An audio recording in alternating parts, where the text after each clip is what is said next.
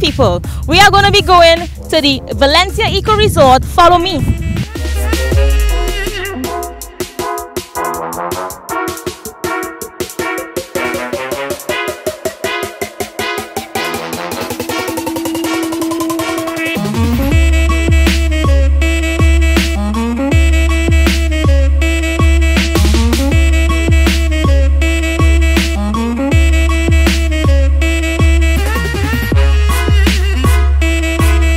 We are here at the Valencia Eco Resort. And what's your name, sir? Rambak Samaru. Nice yes. to meet you, Mr. Sam. Yes, you're welcome. Right, my name is Sasha, right, from Knockabout. I'm going to learn a little bit about the Valencia Eco Resort.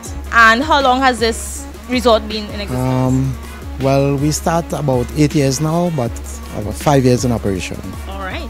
So anybody could come here, and what are the amenities that are open to them? Well, we have um, swimming pool, sheds, a cook line, um, play field, football, cricket, basketball, table tennis, pool table. Nice.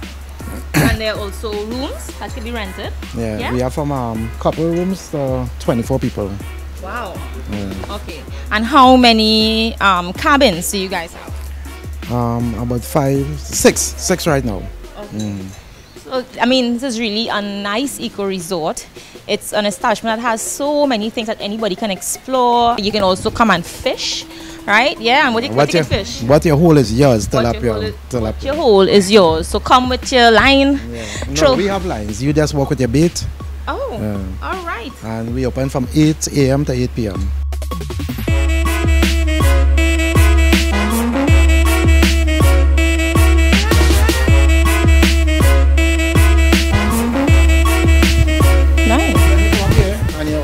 And you're and you don't want to miss out your gym, you could come here and take your workout one time.